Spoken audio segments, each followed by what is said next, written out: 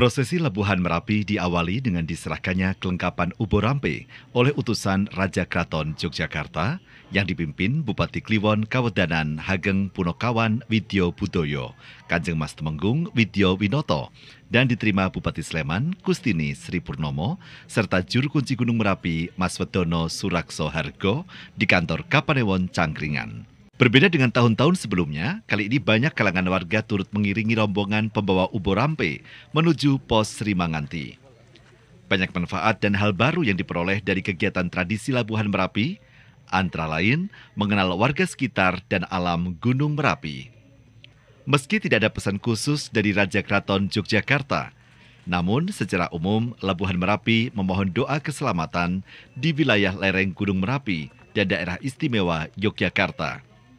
Hingga kini, status Gunung Merapi masih berada di level siaga. Aktivitas vulkanologinya ditandai dengan masih mengeluarkan awan panas guguran.